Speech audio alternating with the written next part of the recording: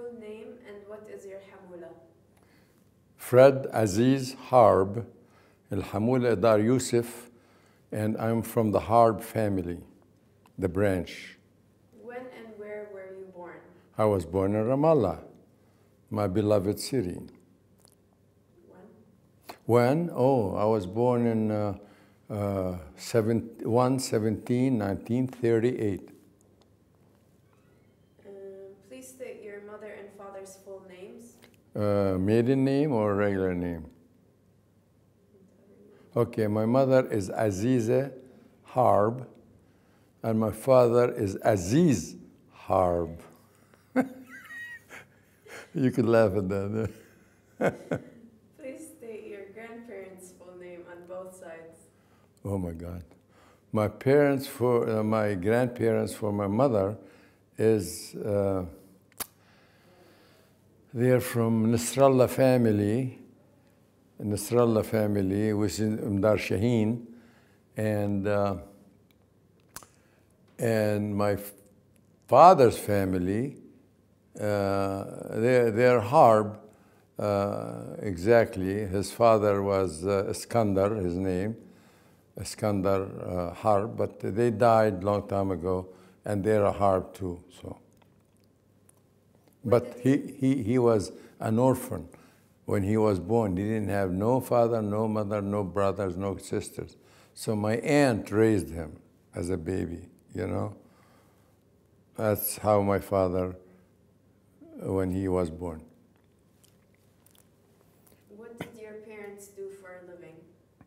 Well, actually, if I say he was working, partially he was working uh, with the, the British uh, it was in Ramallah, and he used to be the cook for them for a while because they were, you know, they were taking care of Palestine and Ramallah, the British soldiers, you know. And for a while, then he quit, and he had he happened to inherit some property, so a few stores rented, and. Uh, uh, and we lived above these stores when we were kids, and we he raised a family of close to 14 people living in the same house above the stores, and uh, he really was. um you know, from the collecting the rent and everything, he used to sometimes use the trade uh, procedure by giving somebody, we used to have uh, dry figs coming in from our fields, from the people that uh, maintain it, and they bring the kid, the, the figs. So we'll store it in a, in a amber, big container made of wood or something. And then uh, somebody comes and he uh, buys the whole thing, you know. And that's some money that uh, comes to my father. And uh, with the rent, and he manages, he manages, I mean, to support the family. When they buy things, the, uh, they use the barter trade. They give him some, uh, they give that, uh, the, the man who, who sells kameh uh, and taheen, you know what, what I mean? He, maybe he gives them dry figs and he gets taheen, you know. That's what they do in the old days sometimes. Or they get oil, uh, tanks of oil, you know, not, not bottle of oil, olive oil. And they get cheese and they get pickles for a long period of time. They make it on, uh, with their hands, you know. Can you talk a bit more about uh, the British control and how you lived through Well, the British control, they were there, I think, it's just like uh, uh, a zero, uh, zero from, uh, from the left, you know. They were they're just there, they occupied the, the hotel down there, uh, a few of them, and finally they, uh, they took off and they went back to England, I think. They were not needed anymore. Yeah. And what did your mother do for a living? It's a housewife, really. She took care of the kids. She had about, uh, let's see, four kids and three, about seven. You know, had to raise them. Do you have any personal memories of your grandparents? Not really. My uh, grandparents, for uh, from my father's side, I don't know them, really. I didn't because they died probably even after he was born, you know.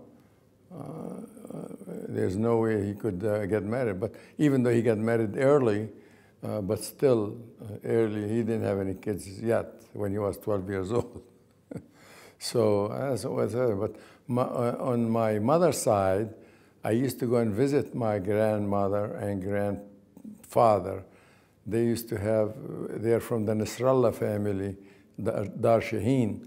And uh, they were living up in the near the Idaa, the uh, the best location in, in Detroit and in, in Ramallah, you know, and uh, and uh, that's what happened there. And uh, I used to go down there. She used to plant ascadenia. My grandma, she was hell of a nice lady, you know, nice, and she loves me because I was young young kid and go there and visit them all the time. And she gives me, they used to grow lettuce, and they used to grow like ascadenia in the tree. I used to pick it sometimes and eat it. And uh, they were nice, nice people. She lived with her uh, another daughter that he lost her husband, and uh, a, granddaughter to, together in that uh, big house. And uh, then, you know, that's what happened. Tell us one of your most memorable stories you heard from your grandparents. Excuse me? Stories that you've heard from your grandparents. Oh, from my grandparents, they were old. Really, it's, uh, they, they didn't have no story really because they were kind. I, I go down there, hi, Habibi, and all that. They were good, and uh, what do you like to have? And you know, they used to have a field in front of the house. They used to plant it, vegetables and all that, and lettuce and tomatoes and what have. And uh, my grandmother, she used to be short, and you know, she goes and takes care of the garden. But my grandfather, he, uh, th through my mother's side, he was, you know, he, he was bent over too much, you know, he goes cane with that. Why? Because he used to carry stones, stones for building, you know, carry it on his back, you know. So that's what's happened working hard. They worked hard. And uh, she, uh, their daughter, uh, she, my mother, she, she, got married to my father. She was 14 years old. Yeah. And uh, actually, uh, my, gra- uh, my sitto, hey, the father, the mother of my, my father's side, she wanted him to get married right away. Why? because there is a reason. Because the property we have is for my great grandfather, and it's supposed to be divided equally in Ramallah between my father and uh, the other one is called uh, Khoury Yusuf. You know, he's from another faction of the family, you know. And so he was, my father was gonna be, he, he was gonna put him in a institution out in Jerusalem, so he'll be diminishing so that he doesn't have to worry about his share. But my, my grandmother, um, it's not grandmother, really, she, the one who took care of my father, and she said, I want to get you married right now so that you'll get a share of the property. So even though the share was minimal compared to the other guy who, who, who uh, he had more kids and he wrote them on a piece of paper and stamps and uh, everything that you take this piece and that piece.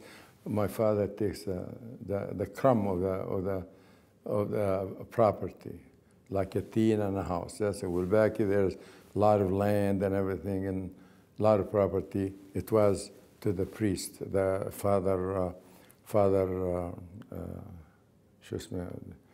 uh, Abu, Abu George, George, his son was a priest too.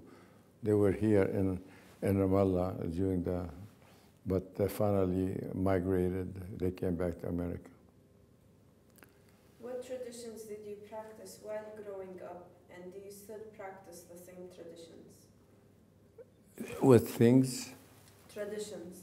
Oh. What traditions did you practice while growing up?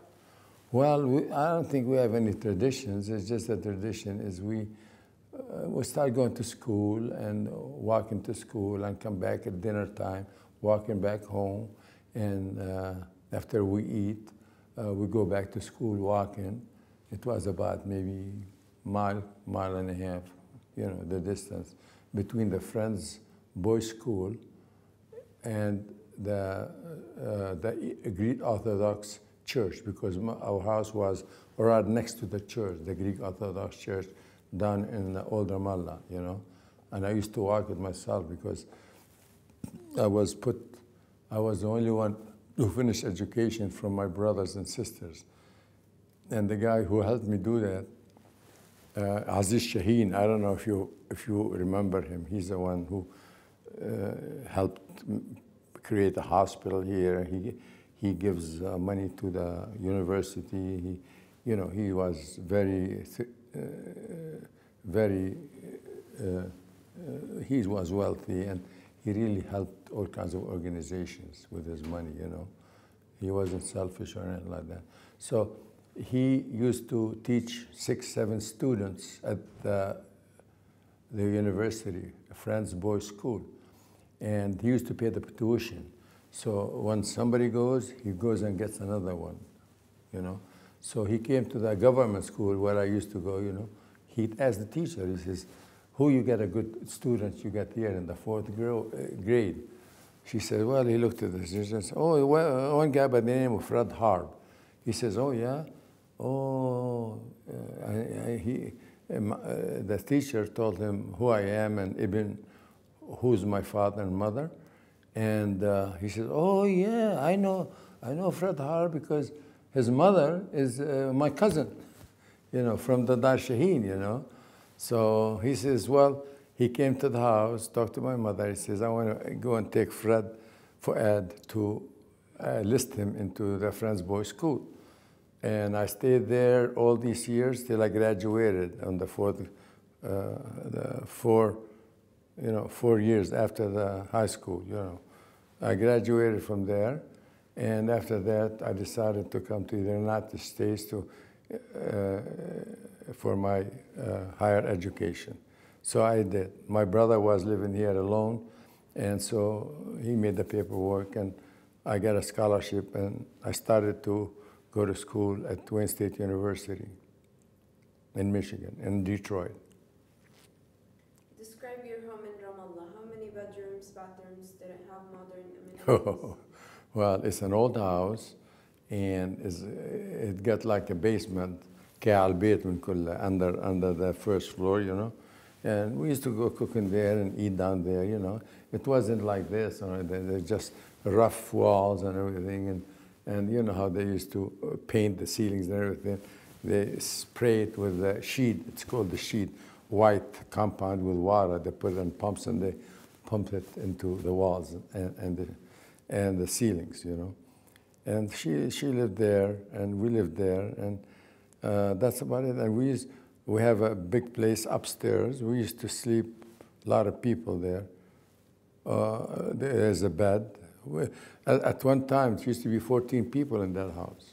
You know, it used to be my father, my mother, and uh, the four children, and the three girls, and my sister-in-law, because one of the brothers, he got married to her, and then she started having kids. She had about three kids, three boys, and they're all living in the same house. uh, because we used to hot hasira al ard sometimes, I get a little bed, uh, not too thick or anything, and go and sleep on the floors. And then when we finish, we'll just roll the hasira, put it on the side, and we take the bed out, and that's it. But we lived a good life. It was beautiful life, I'll tell you. What part of Ramallah did you live in? But uh, we, we had a house right next to the Greek Orthodox Church. So we sold it. We sold it when my sister was last to come to the United States, and she sold it for $50,000 because it got stores all around and the living areas on top, you know. We, they, they, we built, my father built two more rooms for sleeping rooms uh, on top of uh, the stores, you know. So anyhow, uh, the guy who bought it, uh, he thought he's gonna really develop it and all that, you know. But apparently, he failed in all aspects. He, the church came. They wanted. They wanted because they built some stores over there, beautiful, modern, and they figured they'll take that piece of land and they expand their stores all the way in. They, they, they make it look good in that area, uh, the, uh, down in uh, proper Ramallah, down by the church. So, uh, uh, what I'm going to say is uh, they, uh, what did he do? Uh, that, that guy, the church came to him and told him, well, we'll give you half a million dollars.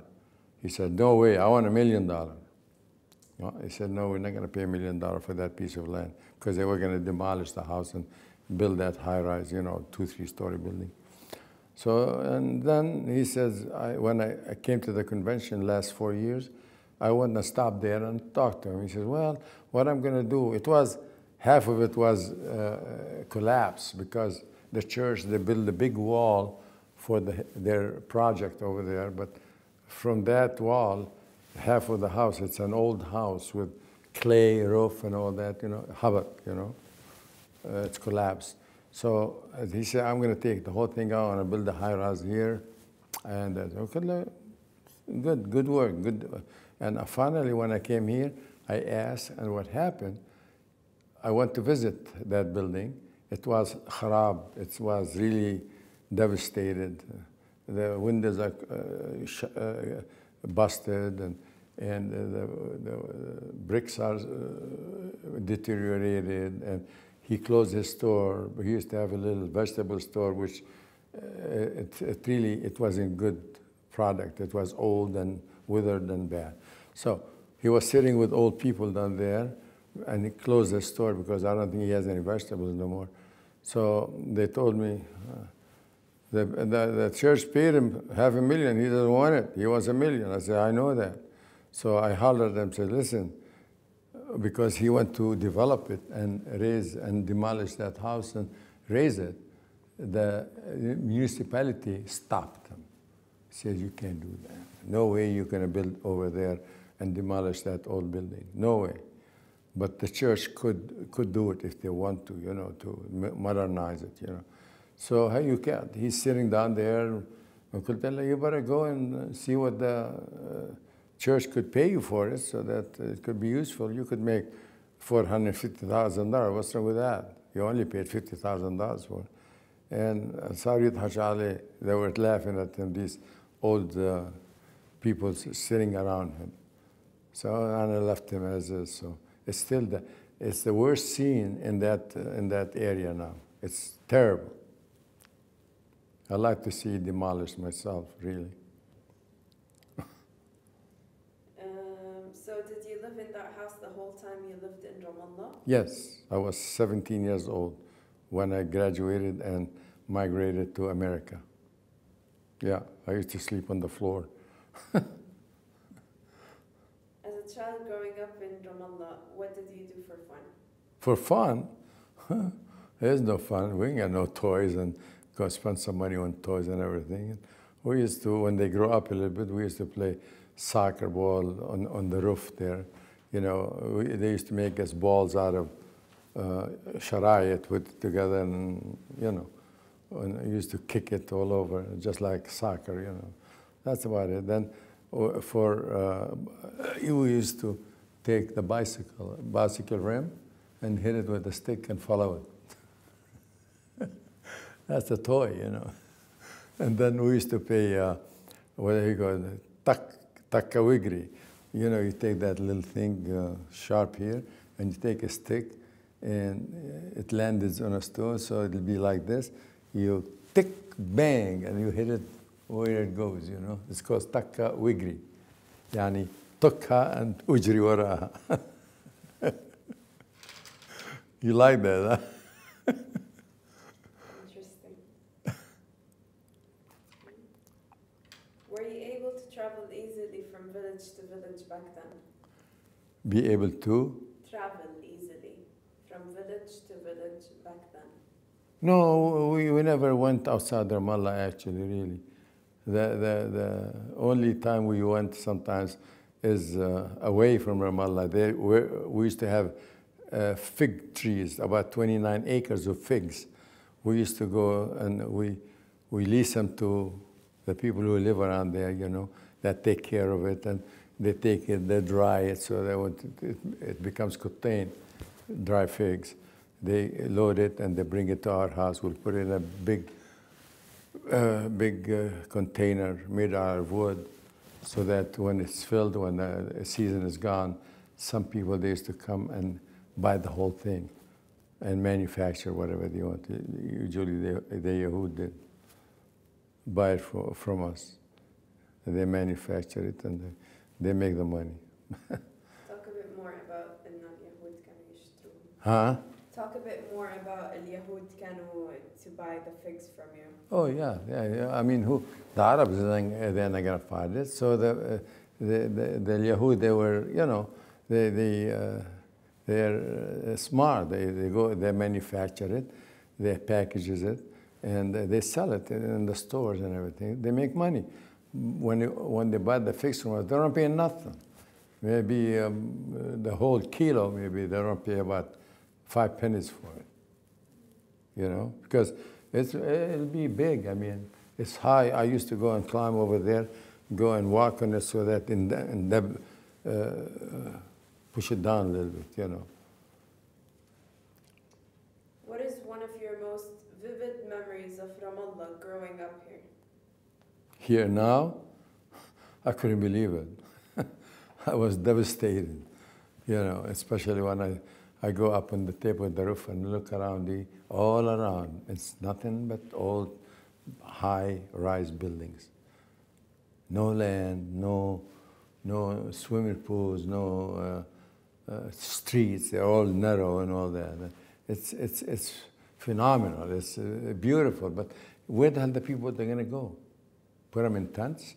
And these people here in Ramallah, they're all, I think they're all well-to-do. They got money. That's why they build these homes, they build these, uh, uh, I don't know where they get the money from, but they do. That's all they talk, in the millions, these guys who live here. I wish I did live here, I didn't go back, I stayed in America. I could have been a multimillionaire now, you know, building and buying and selling and cheating and. Um, do you have any important memories uh, of Ramallah while you were growing up here? Growing up there? Here, in Ramallah. Like, do you have any important memories that you remember or any, Memories when I was in the United States? no, when you were here? When I was here? No, we have no memories at all. We were, it was a simple life, and people live, lived together. and They were friends and playing outside in the field with balls and all that. that. That's, it was, I mean, it was a pleasant life, really. We enjoyed our life there, even though we didn't have too much to eat and too much to dress and all that, you know. Uh, still, it was very pleasant place to live, weather-wise, and uh, raising the kids uh, uh, correctly and all that. We have no crime, no nothing, and it was a beautiful uh, place to live at, really. The weather was great because it's built Ramallah on about what? Mountains, mountainous. When the Arab-Israeli conflict began, what were some of the immediate changes you experienced living in Ramallah? The experience, we, we created the uh, Haras Watani. Uh, we supplied them with guns. We built uh, these uh, big round uh, buildings. They go up there and they, they could see incoming people or something, like a guardhouse, you know. Yeah, and uh, and one time, if I remember, I shouldn't even say that on on the air. Uh, some, uh, I better not say that. A group of Jewish soldiers they came in close to Ramallah, and Ramallah boys, because we used to have recruited some boys, you know, young men with with uh, bullets and guns and everything. That's the municipality of Ramallah. So they went there, Hawatuhin, you know, Iran, and, and, and they killed most of them.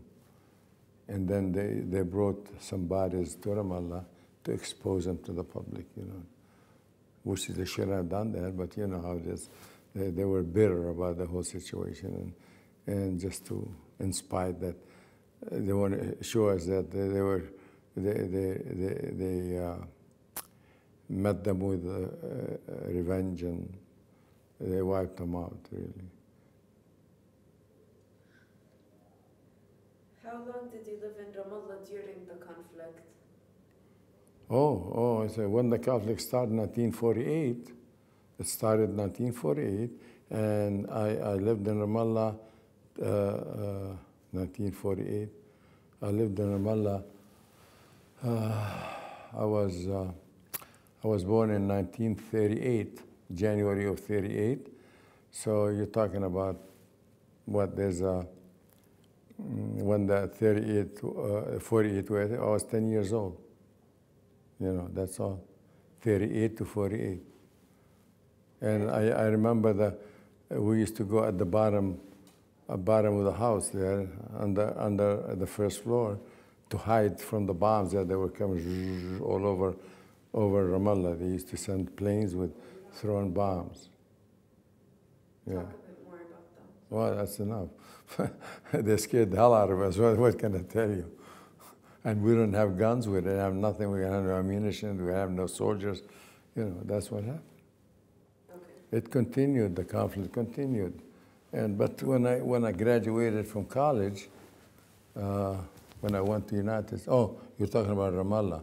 Ramallah, I, I, came here in 1948, uh, 1938 I was born. 1963 I got married. No, uh, that's when I went to America, 1963.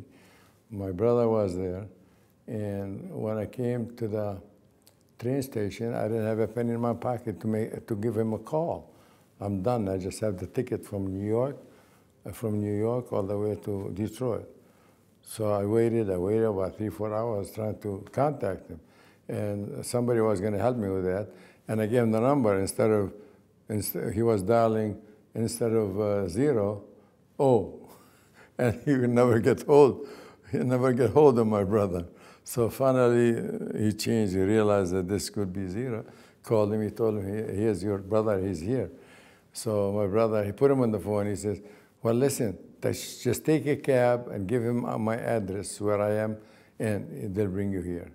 And God knows what he did. I don't know about it uh, he, uh, the cab driver, probably he went all over Ramallah so that he'll get more fees because it's on the clock, you know. So, because I don't know where, where he's going, how did he go? It's only a straight run all the way to my, uh, from uh, where my, uh, where my uh, brother lived and everything, you know. So I get, finally I got there, and when I got there, it was snow about that high, and I never seen snow in Ramallah, you know. and uh, my brother, he, he, prepared for me something to go and peddle, you know. That's used to be the status. Suitcase, Milena uh, babushkas and bedspreads and headscarves and toilet. Uh, to, to, toilet is, you know, they put them in sheets uh, on the material. S- s- uh, they do, do them by machine. They put them design on the dressers and all that.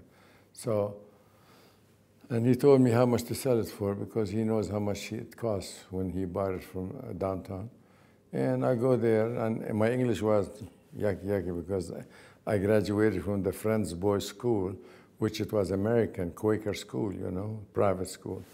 And I learned few English, you know. And I said, Kelly, take this and go and knock on the doors from here. And then when you finish that block, go there, down the other side, then go to another block and keep knocking at the door. I did that, but I froze. I didn't have the right proper clothes with the snow, you know. And uh, I managed. The first day, in fact, he was happy with me.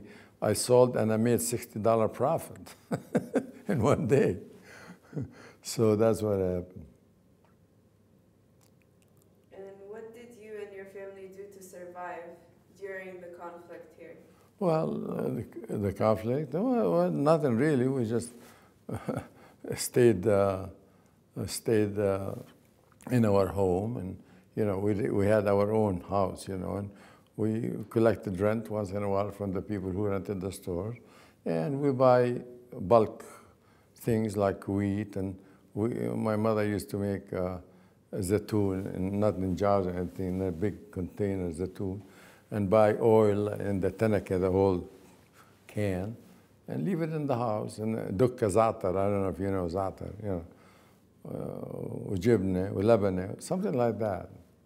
That's all. We have no farm to farm tomatoes and all that. So. Where did you go to school in Ramallah? Friends, boy, uh, for the fourth grade, the government school. Then, after the fourth grade, I went to the Friends Boys School. Um, did you work? If so, what did you do? Oh, I worked. Uh, sure, I worked. I, I worked selling once in a while. Sometimes I used to take the bus and go and drop in an area, and I go and uh, start knocking doors. You know.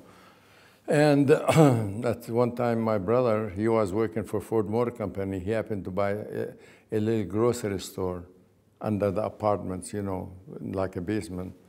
And uh, uh, I used to go and help him when he goes to the factory. Nobody's to uh, attend to the store. I used to go down there, you know, till maybe 10 o'clock at night or something, you know. And I, usually I have something to study, and I couldn't make it, so I had to go home and wait till about 12, 1 o'clock, studying to finish my homeworks and everything.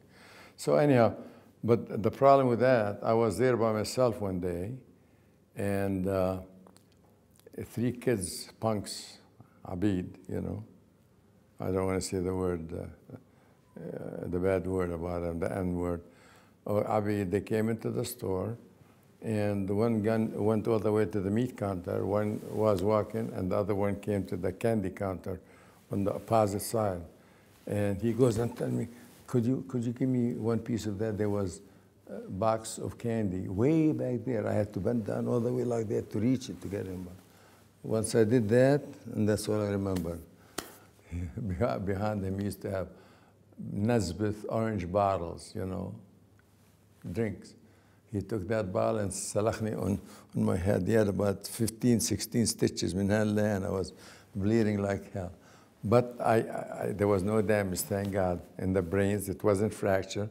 They took me to the hospital, and they checked it, x-rays and all, and they stitched it and let me go home. So, and I was unconscious till then. The next day in the evening, 24 hours, I was unconscious. Did you steal? Did they steal your money or what? No, didn't steal nothing really. What did they steal? Maybe a little uh, uh, lunch meat and what have you, you know, from the counter. Yeah, that's what we had to do. In the same store, in the same store, my, my, my, my brother was there in the meat counter and his wife was in the cashier in the front. Some four Abid came in and I don't know what they wanted. They wanted some money, they wanted some lunch meat, they wanted some, and punks, kids, not even some of them 18 years old. And uh, the neighbor upstairs, she knew us very well. And actually, she knew the kids. She looked through the window and she found out who there. There was there's a gun. They, they went, Wahad went, They shot my, my, uh, my, my brother right in the heart and he died. And then they shot on my sister-in-law while she's there, but they missed her on the, on the counter, on the cashier. So that's what happened. So they shipped him to the hospital, but he didn't make it and he passed away. And then we had to clo close the store and uh, get rid of it because nobody could maintain it now and everything. Talking about problems and disasters and all that. when and where did you meet your wife and did you know her in Ramallah? Yeah, she, she came to, to America when she was four years old. She was born here in Ramallah, yes. She was seven years old when her father was in the army, and the boat uh, landed in Haifa, Haifa, on the Mediterranean there, and he made arrangements to tell her to come to Haifa so that he could take her back with him to America. And my wife was a, a young girl, about seven years old. So she was with her mother, and they just left Ramallah, and they jumped in the boat, army boat, and they went to, to America. And how did you meet her? Oh, I met her because I, she grew up to, to be a young lady and she finished school and she was sharp and, you know. And uh, one day we were over there, we were invited to a wedding, me and my brother and his wife and everything. And then her father, her mother, and she, they went to the wedding. And we had some cousins too. They were sitting next to us, you know. Abdel Noor, I don't know if you've heard him. Abdel Noor, he passed away. His wife is here now visiting. Anyhow, so and I, I just finished college. I graduated, and I have a student visa. So if I don't continue my education there, they're going to deport me because I have a student visa. They just put me in the boat, yalla, go, go back to your country. So, but uh, what I did, I figured if I get married here, I get to stay here because she could make me a citizen after five years. I get the, the card, green, green card is called. So that guy, when I heard, when I looked at her, I liked her. She's very nice. She looks neat. Uh, you know, very. Uh, she was raised right too. And so I told Abdel Noor, "You like her?" He said. He jumped. He went to talk to her dad there. He says, "Listen, we have a boy, you know, our neighbor there, and he, just graduated from college. You know, he's a nice from a good family, and he's nice. And you think you'll be able to uh, get him married to your daughter? Yeah." So right away, because she was at the age of really, he was about 24. I was 24 too, in a way, at 24, 25. She says, "Well, why? There's no no no problem. If if they like each other, that's fine. I, I accept it."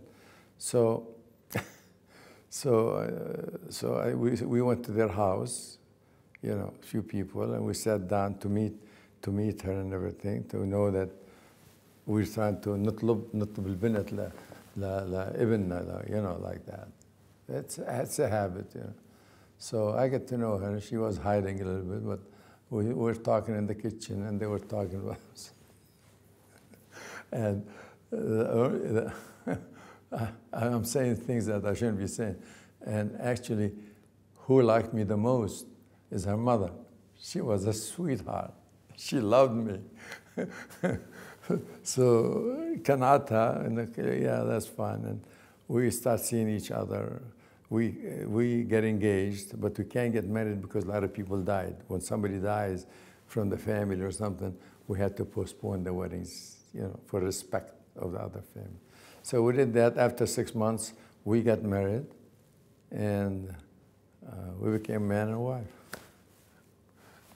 I had a job, you know, in the engineering field, you know, supervisor and wo- working for a gas company that lays uh, pipes in the ground and and uh, they put uh, uh, you know the السياع مشان to find out the, cons- the consumption of gas and everything so that they send bills.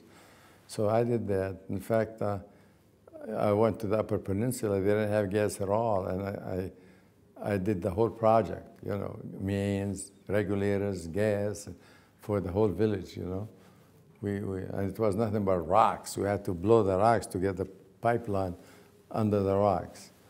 But we finished. It was six months uh, project. At that time, she was she got pregnant, and uh, so she moved. She moved to her parents' house, to take care of her, and uh, we rented the house for about two three months for a uh, for a uh, baseball player. He used to come, and he brought his wife and kids, one kid, to go and, and live in my house for rent, you know, just to help out a little bit. So that's what happened. When did you get married and where? I got married in Detroit and one in about 1963. We got married and we had to go to the honeymoon. Uh, so we arranged to go to, uh, what do you call it, uh, down the islands uh, by Florida, south of Florida there. Uh, Caribbean? huh? Caribbean? not the Caribbean, some island. Uh, I don't know, I forgot the name over there. Yeah, some island. It's nice, and so we went there, and uh, we, we we got the honeymoon the honeymoon uh, room, you know, and uh, we go in there. You know, when we first get married, we're all excited and bashful, and you know, it's, it's, we're not used to this uh, hanky panky, you know. And, and then uh, there was a bottle of uh, some kind of a bottle. They make it over there cheap. So I was, you know, I was stretching like this all of a sudden. I dropped it and it's all over the floor, busted. so we, we had somebody to come and clean it up. We don't want to drink that. Yeah. Um, what is your occupation and what is your wife's occupation? My wife, uh, she was working secretary for uh, insurance people, uh, a bus downtown. She used to be the secretary typist and all that for a while when I first married her. Uh, and uh, she used to, uh, her father bought her a grocery store to be partner with his cousin because he can't make it himself. So, and what else did she do? That's about it. Then when I became a State Farm agent, she used to help me. She come to the office and X date. X date means she goes and calls the people and tell them uh, her name, uh, a State Farm agent. is going to save you some money in your car insurance and save you some money in your home insurance. When, do, when does it renew so that I could remind you that he's coming to see you? So they give her the, the, the X date, it's called. So uh, I have to accumulate about 1,000 X days before I get into that insurance business. I was an insurance agent for 20, 21 years. And I worked as an engineer for 20 years. How many children do you have? Four, two girls and two boys. Um, tell us about leaving Ramallah for the U.S. When did you leave? What mode of transportation did you take? How was the journey? Who did you travel with? I traveled on a, on a boat. We couldn't afford to take a flight, train. We went uh, on a, a, Greek boat. It took about 19 days in the ocean. And uh, it was fun for me. You know, I never, uh, I never fainted or anything like that because a lot of people, they vomit and they don't go to dinner. I enjoyed it myself. And when we got there to Halifax, from Halifax, the ship came down to New York, and we got out. We, we took the, they sent us to the train station, take the train to Detroit. And who did you travel with? Nobody, by myself. They were all uh, Greeks, some, some, some Arab uh, women too, with her kids. You know, I don't know them, I mean, but it was all kinds of people in that boat. How old were you? Hmm? You know, how old are you when I, when I came to the United States? Uh, oh my gosh, now you got me, I had to figure it out. Well, I came here before I, I got my education. I was, uh, I was only what? Uh, I was uh, 24. Not, it was about five years after, after, after I finished uh, the high school. That's when I traveled. I, I, when I was, I was 1957 when I, yeah, so figure it out. 22. I don't know. I don't know math now. That was my uh, best subject, math, physics, chemistry, and all that. I excelled in that. Describe your feeling the first time you landed in the U.S. I told you, when I landed, I landed in Detroit with snow. I hated it. I froze. And I made $60 for my, for my brother, and he was happy with me. So, and uh, I started looking at the trees, see if there's any money, you know, but uh, they said money grows in trees over there, so I don't see no money. Uh, were your children born in the U.S.? yes, all four of them. Um, talk about your immigration experience and living in the U.S. How easy was it to assimilate and blend into the American society? And if you spoke English? Well, I spoke English. I learned it too when I came to college. They gave me 101 English course and all that. And I learned it more. I know little about it, but I learned more. And uh, that's what happened. And, and the kids, I, I, I taught them till they finished colleges, all four of them, two master's degree and two doctors. I helped them out and opened offices for them, and yeah, they all what to do. They get married, they get homes, they get kids. I got eight grandchildren, and uh, the two girls and the two boys, the two doctors. Um, how was your immigration experience and living in the U.S.? How did you blend with the American society? Oh, it was easy. Uh, I mean, it doesn't bother me, and I used to talk to a lot of people when I go from door to door. And uh, uh, I, uh, in fact, one day uh, I, I, was in the cold snow. I was knocking at the door. There was two old ladies there. One of the ladies, her son went to the army, her only son, you know. And she invited me in, you know. And they were so kind, so nice, you know. And they, they, they, they cooked, they heated some soup and they gave me a bowl of soup and they saw what I'm selling and they bought something to help me out. And from that moment, we became friends, you know. I used to visit her. In fact, uh, we used to have apartment rented the street behind her, you know, another street. And I get used to her, and I used to go and visit her all the time, for poor thing. One day she liked me, she says, listen, uh, here's my credit card. I want you to go to Hudson and buy yourself a suit. And don't worry about what it is.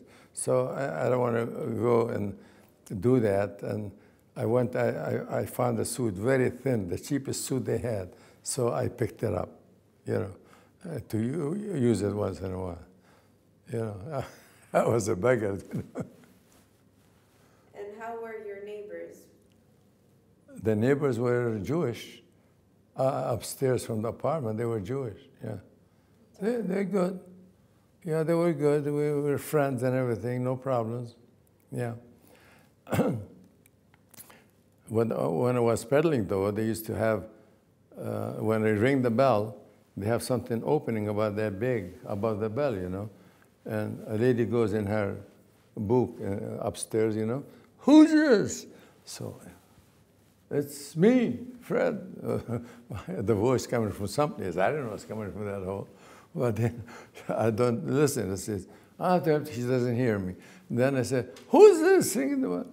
It's me, Fred. So I said, where the hell is the voice coming from? So I go to the end of the porch to look upstairs to see if I could see somebody upstairs doing it. So I was, you know, but anyhow, finally, uh, she says, no, I don't need nothing. So I took off.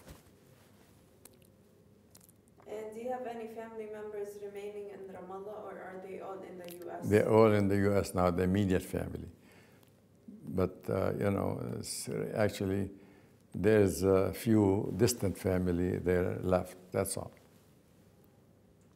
Since immigrating to the U.S., have you traveled back to Ramallah? If so, how and when often? I never did. The only time I came to Ramallah, me and my wife, was the last convention 40 years ago. And now my wife is not there. I came by myself to the second convention. Describe how Ramallah feels to you since leaving. Describe what? How Ramallah feels to you since leaving. Since leaving? No, Ramallah, Ramallah, I don't know Ramallah. I, I, I, I can't, I couldn't even find where my house is. I didn't even know where the church is. I didn't know where my school is, the Friends Boys School. I, I mean, the streets are different, the, the buildings all over the place, and that's all you see, buildings. I went to the 17th floor from a hotel. I looked around. In fact, I took a picture of all the high rises from one end all the way. I moved around. It's all nothing but high rise buildings. Nothing else. That's all you see. I haven't seen a swimming pool there, like, you know, in the front and back of the house or anything like that. But that's what it is. It's, it's developed it's growing bad uh, and fast, and uh, there's more people coming into Ramallah, and they're doing a lot of building in Ramallah, and it's it's it's amazing what happened to Ramallah. I mean, it's expanded. They, they dig the mountains to build homes. They dig the mountains. Half of the mountain, they take it out so that they build the high rise. Do you still stay in touch with people in Palestine? Here? No, we, we don't get in touch with, no, nobody's here that we go in touch with, really. What are your thoughts about Ramallah now? You answered it. What are your thoughts about uh, what's happening with Jerusalem? It's bad. Everybody, all countries, they hate it from the news and everything, from what I could gather, because, you know, that's not right. Even the Jews themselves, they denied that they should do that. They shouldn't have an embassy. Sh- they shouldn't have a nation. They shouldn't have a country because the Jews are a religion. It's a religion, it's not people. And uh, even the Jews themselves, they keep preaching all over. I hear it in Facebook. I hear it in all over from, from, uh, uh, from New York and from other places. These are the, the, the, the, the you know, the, what do you call them? Uh, part, part Jewish, though, they, they, they hate that. They don't like it. They don't want, they don't want a country. Yeah. Do you think you will see peace in your lifetime? I hope so. That's all. I mean, I'm, I'm getting old, but I hope so. I hope they'll have peace. We, it was very peaceful here before, before the Zionists moved in. The Zionists ruined the whole thing for the, the, Jew, the Jewish. They still are doing it for that expansion and all that. So uh, that's, that's what it is. It's, uh, it's a shame that they can't get together because we used to live together all the time. My passport, no, my birth certificate, it's in three languages Arabic, Jewish, and English, believe it or not. My passport, when I made it, I filled it up, I was born in Palestine. It's right there.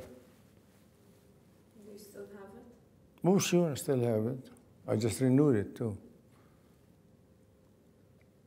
Um, what are you doing to help the peace process?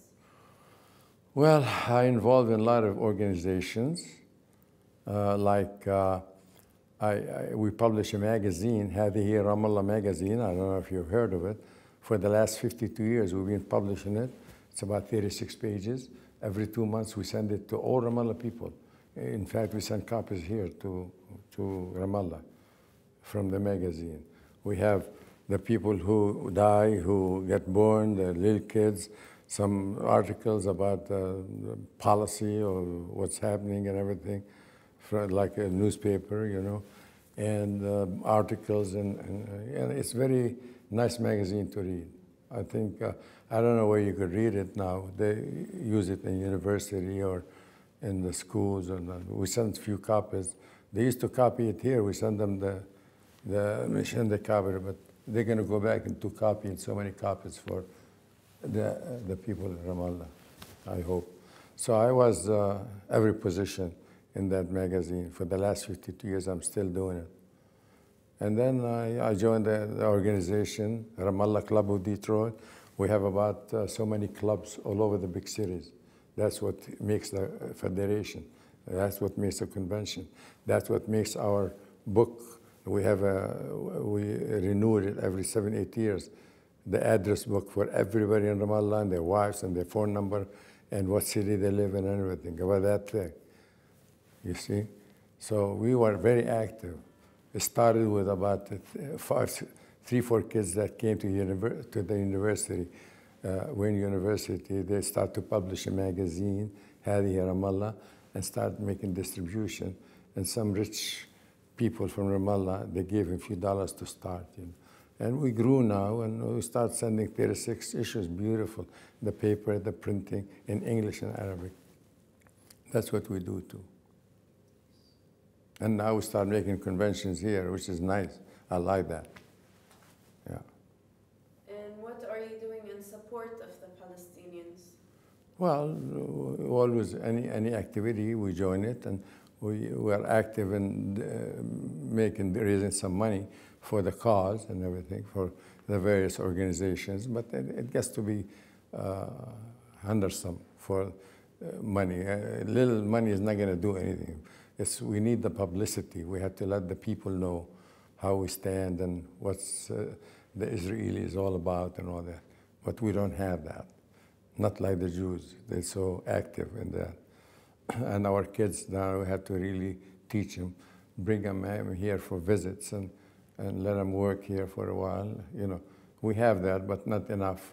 One time we bring about 30 kids, girls or boys together. They come in and uh, they do improvements in, in, in, Ramallah. Is there anything else you want you would like to add? Uh, no, nothing. I, I said it all.